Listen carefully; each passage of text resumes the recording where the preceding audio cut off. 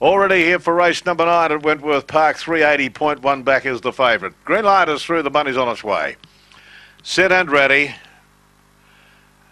Racing point one back, flew out of the boxes quickly. Away was right arm fast and rushing up in the middle as Juice to join them. They will follow next by Sue Benny. Well back on the race. Olay Supreme, uh, Rain Dollars and Jiu Jitsu around the corner. Juice got away from point one back and Sue Benny running on, but Juice in front and Juice was too good. Juice by four lengths to Sue Benny, point one back. They were followed by Rain Dollars, Olay Supreme and a break in the field to Jiu Jitsu. Hurricane Alley never in the hunt and right arm fast after beginning well was at the tail of the field. Five the yellow is the winner, Juice. Five yellow, Juice is first. Standing by for the minors. Number nine has finished second to Sue Benny from box seven and three. The white point. one back in third position, five nine three.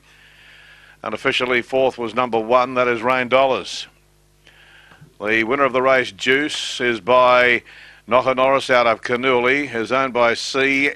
M and W Beringer, trained by Jill Harper of YE. Number nine, Sue Benny. Matthew Watton second with 3.1 back. Stephen Waddick third. Three and a half by three quarters with the margins. Three and a half by three quarters.